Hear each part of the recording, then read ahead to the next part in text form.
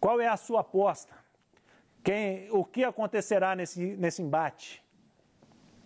Acho que amanhã é um jogo muito difícil, pelo que o CRB criou nas últimas partidas com o Cruzeiro, mas vai ser um jogo diferente. Não vai ser igual aquele jogo da Copa do Brasil aqui 2 a 0 nem aquele 1 a 1 lá onde o CRB ficou mais Acho que o CRB vai tentar jogar, até pelo momento do Cruzeiro, mas é um jogo de fundamental importância para o Enderson e para o Cruzeiro.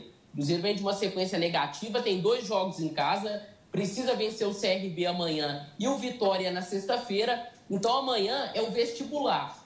O Enderson tem que passar nesse vestibular. Então acho que amanhã o Cruzeiro tem que ser menos afoito. Cria muito, mas finaliza mal. Amanhã tem que colocar a bola na casinha. E qual o placar que você chuta?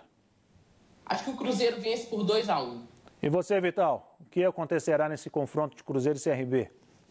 Prevejo um confronto complicado para o Cruzeiro. O momento é de instabilidade.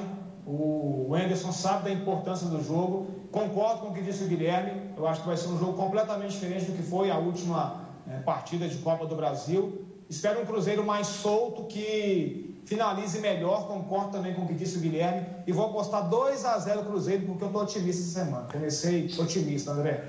Aí, José, temos 2 a 1 2 a 0 e o seu palpite?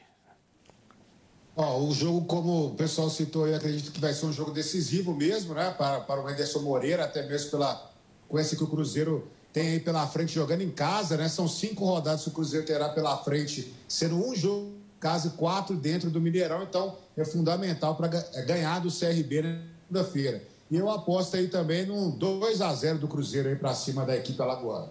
E você, André, fechando o nosso, nosso palpitômetro aqui? Não gosto muito de repetir placar, não, André. Então sobrou para mim 1 a 0 Cruzeiro. Quem sabe com o Cruzeiro jogando melhor, sabe? Defi é, é, é, amassando o adversário, criando oportunidades, porque, volto a dizer, estou ficando chato com isso mas o Cruzeiro está devendo demais desde o início do ano, com todas as dificuldades. Mas o próprio Enderson, com o que tem na mão, poderia estar tá entregando mais, na minha opinião. O meu VAR aqui, Pedro Rocha, falou que vai ficar um a um e o Léo Gamalho vai fazer gol do CRB.